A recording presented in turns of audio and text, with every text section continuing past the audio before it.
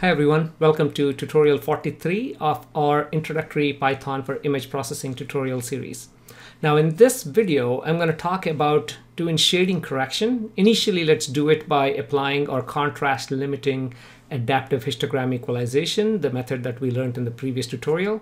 And uh, uh, spoiler alert, we'll see that that's not a great uh, you know way of doing shading correction. It's it, it works great in terms of equalizing you know the histogram uh, for uh, contrast, you know, for giving you better contrast images, but not necessarily for removing these non-uniform illuminated images.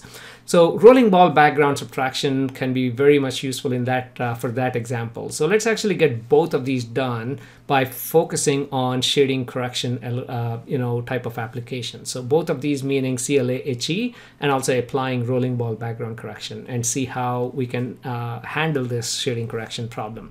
Now, first of all, why do we need and what do I mean by shading correction? So if you collect your images with non-uniform illumination. You may see, in this case, I'm just showing one way, right? I mean, from the left to the right, you can see how the image goes from dark to bright and uh, it can be many ways. Uh, it can be like radially your image get progressively darker or progressively brighter. It completely depends on the illumination conditions and how centered your system is and all that. It applies to both optical or light microscopy or electron microscopy. If your beam is not centered and you're actually imaging at a very low magnifications you can actually see these type of effects.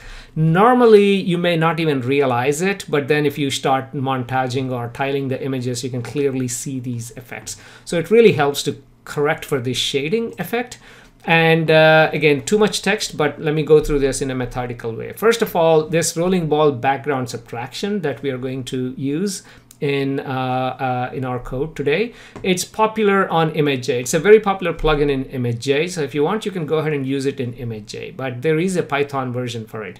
Now it only works on 8-bit gray images like most of these other uh, filters. So if you have a color image, you can always separate, convert it into from RGB to lab space like I showed you in the previous tutorial and work only on the L image and combine the colors back. Or you can try applying it on R, G, and B channels and then trying to merge those and see how that works out.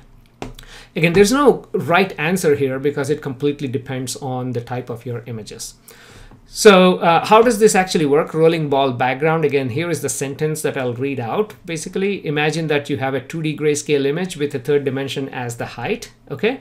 And at every point of the image, uh, uh, basically you have a ball of given radius and you roll over it on the surface and uh, the whole of the volume reachable is the background. Again uh, here is the reference you can see it. So in a way if you have an image again by the way it works great for particle size type of images.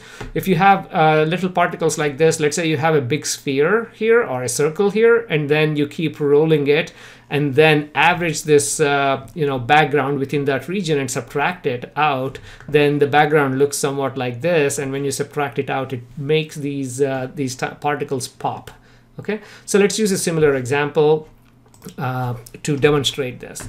So first of all uh, the image that I'm going to use is a particle image with a you know somewhat artificially added shading to it Okay, so this is the image we're going to use and let's see how the subtraction works out.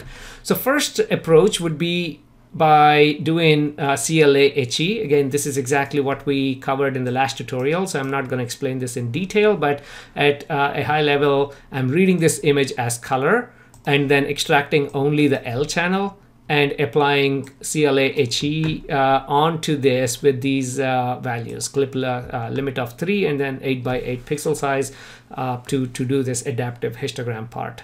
Okay, and then let's have a look at the output.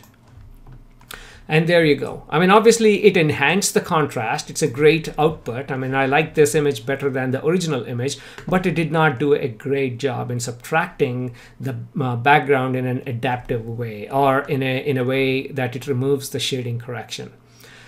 Okay, so how can the rolling ball be any better? Well, first of all, to uh, install this rolling ball background, just do pip install opencv rolling ball. Okay, this is the Python implementation of the same ImageJ plugin that I was talking about. And again, it only works with 8-bit gray images. Once you import this CV2 rolling ball, okay, library, from there actually import subtract background rolling ball uh, function. Okay, so from this uh, from this uh, uh, uh class. And uh, now I'm reading the image again as grayscale this time because of course if you want you can read it as color and extract this into lab and all that stuff. But this is a grayscale image to begin with so I'm just importing this as IMG. Now I'm defining the radius of my ball as 50 here or the sphere here in this case or the you know the rolling ball as 50. Now it's very important to have a look at the features that you have in your image and not remove them by background subtraction. If your radius is uh, the same size as the feature size, then uh, the uh, features will also be detected as background. Let's do that exercise actually. Uh, and uh, the way you uh, apply is subtract background rolling ball. Remember that's what we imported and apply that onto your image and uh, the other parameters that you supply here are the radius and uh, uh, whether you're applying this to light background or dark background right? So in this case my background is light. You saw the image which is the white background. So light background equals to true. You can also uh, experiment with these other parameters. So uh, this is it. This is all it does. Now after it's done its magic then uh, after the background subtraction usually the images look a bit washed out yeah, so to do contrast enhancement, I'm going to apply CLA HE after the background subtraction. That's all. Let's go ahead and run this part of the code and look at our output. And uh, here it is. So let's start with the original image. And after, uh, sorry, let me arrange this. First, let's look at this. So it actually extracted the background okay out of this uh, original image. So here is the how the background looks like. And after the background subtraction here is how it actually looks like. Now finally after contrast limiting histogram equalization or adaptive histogram equalization. This is how the final image looks like. I don't think it's actually this image you know the original image is i mean it's looking great but if you look at this image right there now compare this input with this. Now you have a very nice uh, output image that you can work with. Now if you wonder why are my edges blurred and all that then you can actually play with these values. Let me go back and uh, look at the radius. You can increase the radius so these features are not uh, affected much. Okay? Increase the radius by a lot.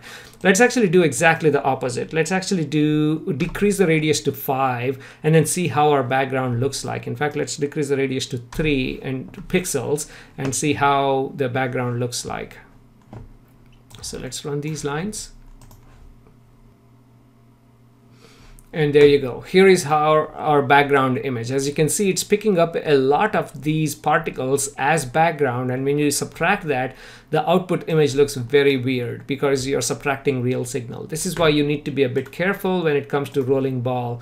It has to be much larger than the feature itself, that, than the largest feature itself uh, for it to actually do a good job.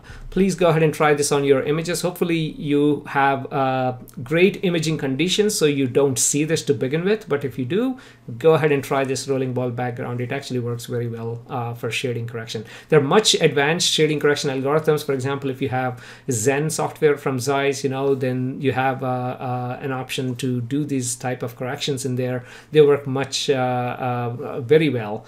But rolling ball it doesn't it doesn't do a bad job as you can see. It's available in ImageJ and if you're already used to using it then here is how you can do it in Python. So thank you very much and let's cover a different topic in the next tutorial. Until then please subscribe to this channel